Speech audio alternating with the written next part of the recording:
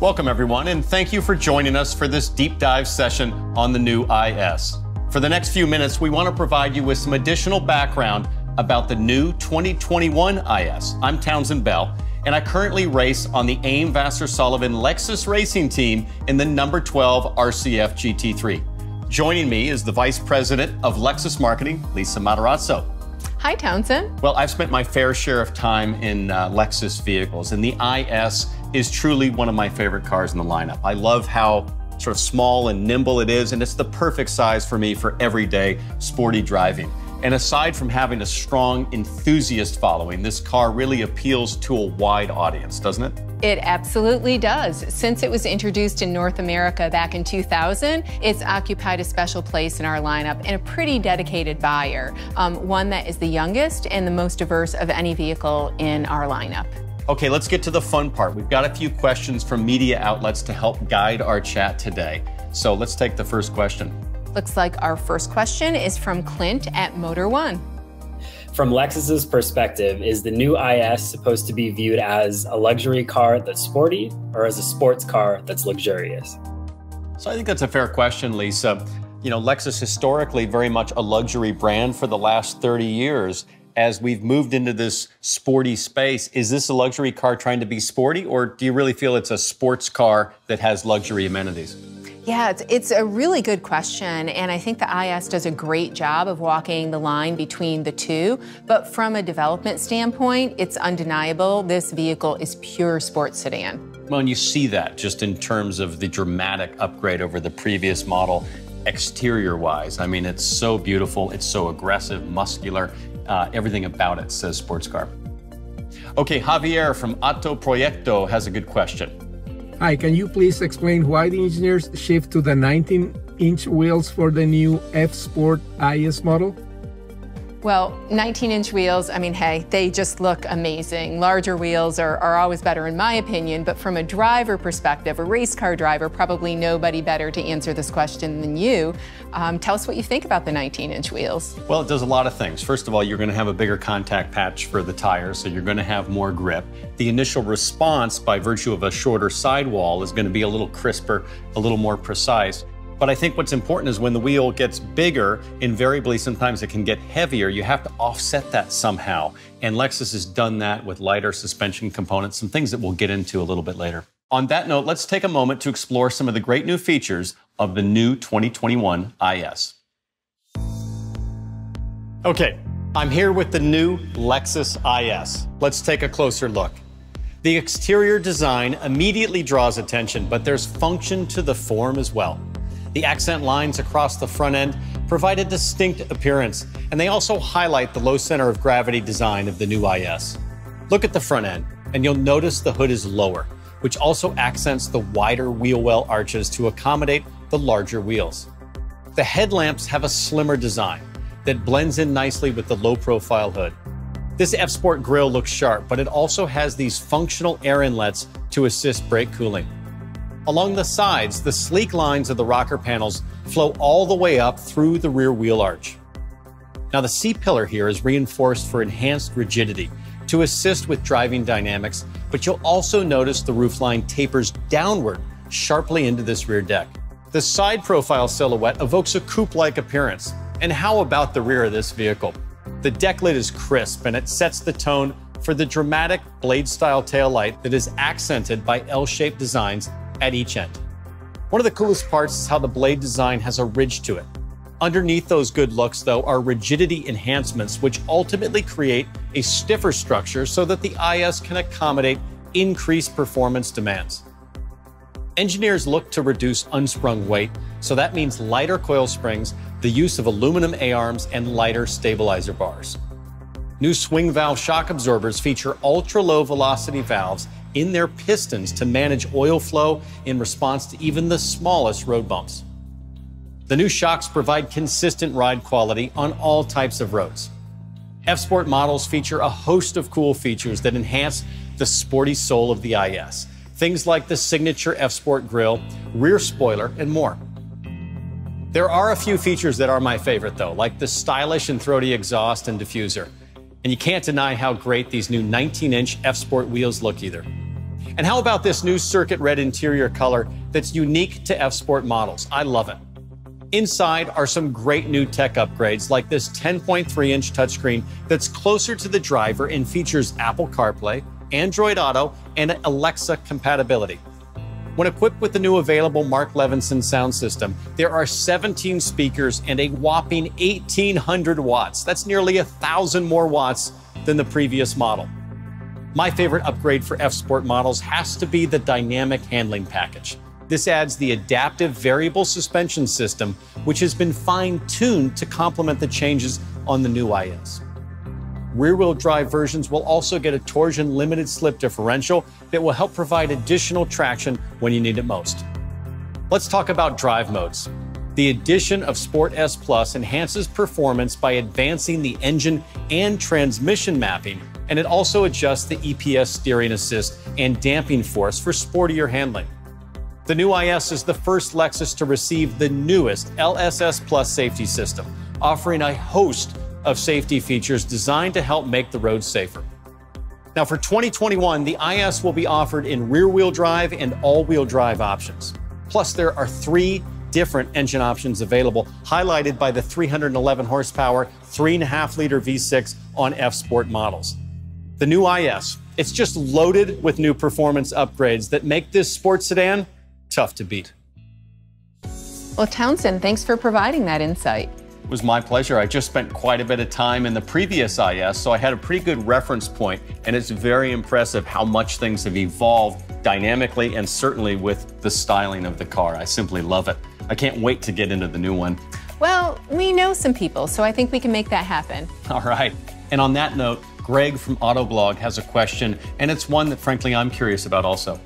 Hey guys, Greg Migliore here from Autoblog. Thanks for doing this. This is really cool. Uh, lets everybody get more information about the car.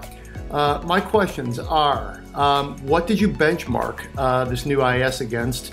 And then how did you differentiate this car's mission versus some of its competitors? Every car's got to have an identity. I'm curious uh, how you created a new identity for this new version of the car. It's a really good question, and I think the, the secret for the IS is that combination between style and luxury and performance, and, and that's what really we were striving for in developing the car. It's what we know our buyers want, and so I'm happy we're able to deliver it, and also in this amazing package with really aggressive sheet metal, a bolder look, and something that's a real wow in the marketplace. You know, when I first saw it, it's what spoke to me first was this is a differentiator in that in that category. It's it, there's a wow factor when you first walk up to the new IS. That actually leads us to our next question. This one's from Colin at Car and Driver. How will these changes elevate the Lexus IS in the very competitive compact luxury sports sedan segment? So, Lisa, is there a specific vehicle that Lexus identified and said, hey, that's the one we've got to beat? That is the benchmark? Well, we're always looking at the competitive set when we bring a new vehicle to market, and there are some uh, competitors that we benchmark, but at the end of the day, what we're really trying to do is bring to life the Lexus driving signature, and that's really at its heart, it's all about connecting the driver to the vehicle so they have an amazing experience when they're behind the wheel. Of course, you can't develop a great driving signature unless you have a great facility to do that. So there's a question here about the new facility. This is Kevin Watts from Lexus Enthusiast. Can you explain the significance of the new test track and how does it compare to your other facilities? So let me just be clear. There is a several hundred million dollar investment. I'm just going to guess based on what I've seen in this new test track. That is a significant commitment to high performance going forward. It definitely signals our commitment to performance, and the facility is amazing. I actually had the opportunity to visit it. It's very impressive. It's modeled after Nürburgring, so, you know, the famous green hell, that track is grueling. And what it allowed our engineers to do is really push the limits when they were developing the new IS, and I think that's very apparent from the moment you get behind the wheel. You know what I loved about the visuals that I saw? I haven't been there myself, but just the overhead video, the drone shots of that track is incorporating all of those kind of natural undulations that you'd find on a real road. So the car and heave as it comes over, the off-camber corners, they're really challenging the vehicle and ultimately the engineers to do the very best job with that Lexus driving signature. And the new IS signifies a cultural shift with vehicle development in a way, right? Yeah, it absolutely does. Koji Sato, the president of Lexus International, talked about this new Lexus driving signature and how the IS is the first Lexus that really incorporates it and fully leverages the Shimoyama facility. And on that note, Chief Engineer of the new IS, Naoki Kobayashi, can provide additional insight. レクサスが走りで大切にしているのはドライバーと車との対話です。ドライバーの意思が車に正確に伝わると同時に 路面や車の状態がドライバーに正確に伝わる。そういう車との一体感が生まれた瞬間ドライバーは気持ちいいと感じるんです。新型 IS ではスペックだけではなく人の感性に訴えかけてくる気持ちよさをひたすら目指しました。通常領域から限界領域まで車と対話ができるために過酷な環境で車両を鍛え上げることが必要でした。そのために大変厳しいコースであるここ下山を開発拠点に選んだのです。具体的にはレスポンスが良く正確でリニアな応答と素直なソーダフィールつながりの良いスムーズな動きを目指し徹底的にチューニングしました。特にステアリングを切ってから戻すまたブレーキを踏んでから抜く時の手応えやコントロール性にこだわって開発をしました。また対話の邪魔となる騒音や振動は徹底的に排除しましたぜひ新型 IS にお乗りいただきタイヤを楽しんでみてくださいきっと我々作り手の気概を感じていただけると思います Lisa, that's great insight. It is, and it explains why we value the connection between the driver and the vehicle so very much. You know, trusting your vehicle and feeling like it's an extension of you is the ultimate connection that racers seek. Chris from Roadshow has a question about the new multimedia system. The new IS features a touchscreen, and for years, Lexus has steadfastly avoided that technology. Can you explain what's changed and why now? So, Lisa, personally, I love the touchpad. Your hand falls just naturally off the armrest to control that. And candidly, I don't like people touching my screens, whether it's my phone or my computer or in my car.